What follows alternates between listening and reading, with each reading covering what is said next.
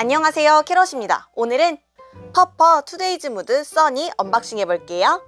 이 영상은 헤이원의 협찬 광고를 포함하고 있습니다. 여러분 덕분에 또 광고를 받았어요. 항상 감사드리고요. 재밌는 영상으로 오늘도 보답할 수 있도록 할게요. 퍼퍼는 옷장에서 깨어난 양모 인형이에요. 퍼퍼 세계관에 따르면 강렬한 감정으로 만들어진 인형들은 창조자의 기억과 영혼을 일부 물려받는다고 해요 이 이야기만으로도 핸드메이드 인형을 만드는 저한테 의미가 굉장히 큰데 심지어 이 친구가 일상의 아름다움을 포착하기 위해 펜을 들고 일기를 쓰는 저 같은 일상의 행복 collector더라고요. 그리고 퍼퍼는 말을 못하는 대신 요 머리카락으로 생각을 전달할 수 있다고 해요.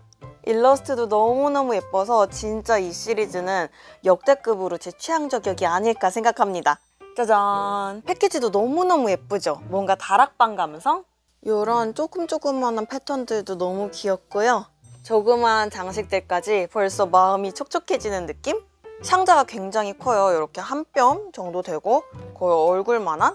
얼굴보다는 작네요. 라인업은 이렇게 있는데요. 다 너무 예쁘죠?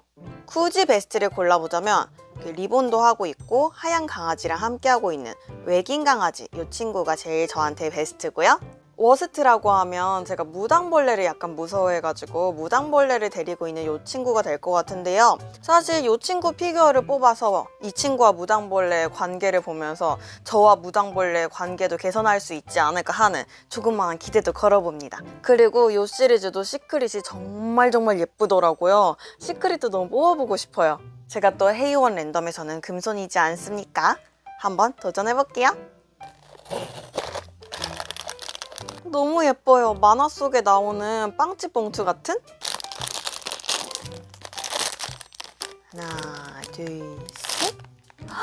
우와, 우와, 실물 진짜 너무 너무 예뻐요, 실물. 크기도 꽤 큼지막하고 이렇게 뒤에 보세요. 이 꽃 디테일이랑 리본 날리는 디테일이랑 머리카락도 너무 귀엽죠? 양모 머리카락. 묶은 머리카락도 밑에서 보면 꽃 모양이고 헤이원에서 발매되는 피규어니까 당연히 촉감이나 도색 완벽할 거라 생각은 했는데 더더욱 멋져진 디테일로 아주 사람을 홀려버리는데요? 제가 또 역동적인 피규어 좋아하잖아요. 퍼퍼는 가만히 서 있지만 이 리본으로 역동적인 모습을 더해준 너무 마음에 들어요.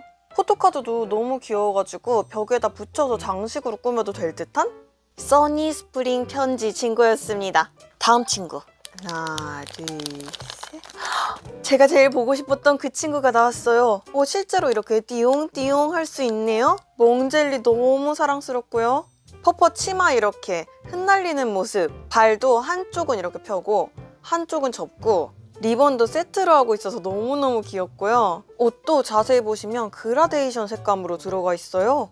진짜 귀엽죠? 사이즈가 큰 편인데도 너무너무 뽀짝하게 느껴지는 게 귀여운 디테일들이 엄청 신경 써서 구석구석 들어있어가지고 되게 알차다는 느낌을 받는 것 같아요. 외긴 강아지. 키덜트이자 멍멍이 러버로서 완벽하게 마음에 드는 친구예요. 다음. 아, 제가 아까 조금 걱정했던 무당벌레 친구인데요. 얘는 피부뿐만 아니라 옷까지 다 무광이어가지고 또 색다른 이미지가 있네요. 이 모자 도색이 너무 멋지지 않아요? 진짜 손때 묻은 가죽 느낌? 모자 디자인도 클래식하니 너무 예쁘고 이렇게 자켓하고 앞머리가 펄럭이는 역동적인 포인트 제가 좋아하는 포인트까지 신발끈도 한쪽은 풀려 있어요. 이런 디테일 뭐예요? 숨은 그림 찾기 하는 기분이에요. 자켓 밑에 주머니 자리까지 있고요. 제가 어렸을 때는 곤충들을 그렇게 무서워하지 않았단 말이죠. 근데 얘를 보니까 어릴 적 제 모습이 생각나기도 하고 뭔가 무당벌레와 저와의 관계를 개선할 수도 있지 않을까 하는 희망이 보이는 것 같아요. 무당벌레를 왜 싫어하는 거야? 라는 표정인 것 같기도 하죠. 어릴 적 곤충 채집의 추억을 떠올려본 무당벌레 잡기예요. 무당벌레 예뻐하는 연습하기. 다음 하나 둘 셋 어머 요정 그 자체인데요? 바람이 밑에서 휘잉 불었는지 치맛자락이랑 양갈래 머리가 날리고 있네요. 얘를 보는 것만으로도 싱그러운 바람이 느껴진달까. 속바지에 네이클로버 무늬가 있는데 이것도 너무 귀엽고 이렇게 너무나 섬세하게 들어간 이 프릴 밑단 좀 보세요.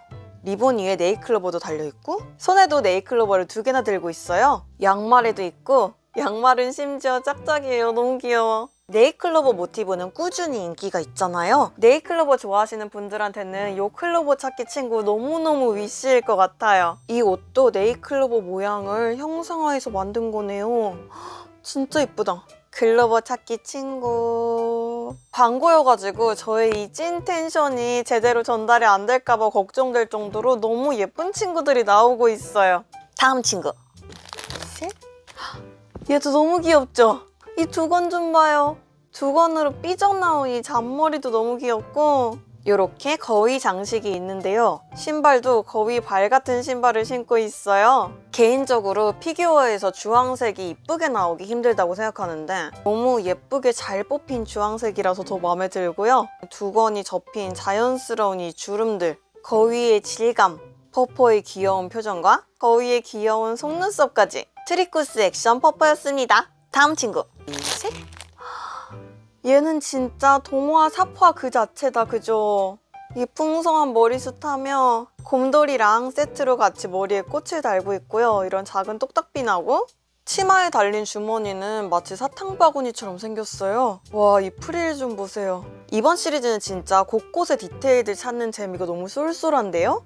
이 친구 머리 색깔도 너무 예쁜 주황색으로 잘 나왔죠? 요 앞니도 너무 귀엽고 good night bear 퍼퍼 다음 친구 셋 이렇게 짚단 위에 앉아있는 퍼퍼인데요 양 같은 장식의 headdress를 쓰고 있는 양 다이어리 친구예요. 갑자기 떠오르는 기상천외한 생각을 하고 있는 그런 친구인데요. 저도 상상하는 걸 굉장히 좋아해가지고 이 친구 더 정이 가는데요. 착장도 클래식하게 너무 예쁘고 와 여기 디테일 눈치채셨어요 여러분?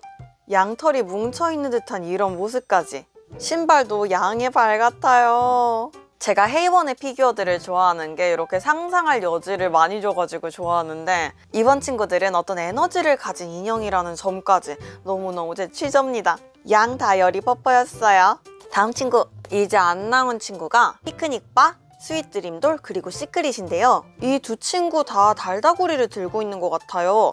달콤한 것과 귀여운 것의 조합도 제가 못 참잖아요. secret이 나왔으면 하는 바램과 함께 이 달다구리 친구들을 모두 가지고 싶은 욕심까지 들어버립니다. 둘, 셋.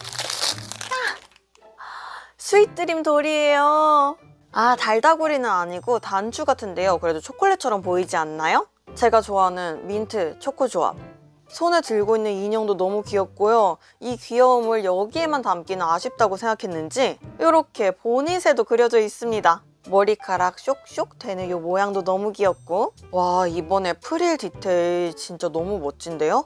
리본이 살짝 날리는 이런 역동적인 디테일까지 퍼퍼 시리즈 친구들 모두 목 부분이 움직이거든요. 이 친구는 이 포즈 때문에 더욱 이렇게 움직여주면 너무 귀엽죠? 와 색감하고 조형하고 이번에 정말 흠잡을 데 없이 너무 예뻐요. sweet dream doll 퍼퍼 마지막 친구입니다. 피크닉 바랑 secret 중에 나올 거예요.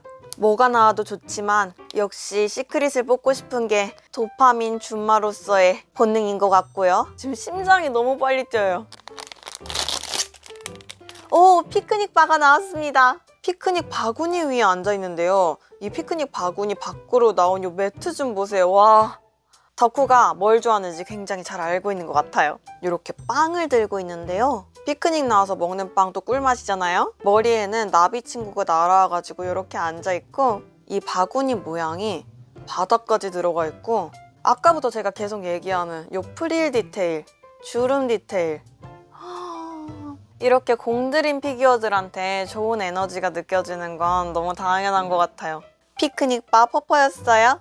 네, 이렇게 헤이원의 퍼퍼, today's mood, sunny 시리즈 unboxing 다 해봤어요. 이 친구들 덕분에 저의 오늘 하루의 무드도 굉장히 sunny할 것 같은 다 너무 예뻐가지고 여러분들의 최애가 모두 다를 듯한 그런 생각도 들어요. 여러분의 최애가 저는 정말 궁금해서요. 혹시 시간 되신다면 댓글에 어떤 친구가 가장 최애인지 저한테도 알려주세요. 같이 랜선 덕질하자고요. sweet dream doll 퍼퍼, 외긴 강아지 퍼퍼, good night bear 퍼퍼, 무당벌레 잡기 퍼퍼, 피크닉 바 퍼퍼, 클로버 찾기 퍼퍼, sunny spring 편지 퍼퍼, 양 다이어리 퍼퍼, 트리코스 액션 퍼퍼 오늘 영상도 끝까지 함께 해주셔서 정말 감사드리고요. 여러분 덕분에 이렇게 광고도 받는 감사한 경험하고 있다는 거 항상 잊지 않고 있어요. 다시 한번 더 감사드리고요. 다음 영상에서 또 만나요. 안녕!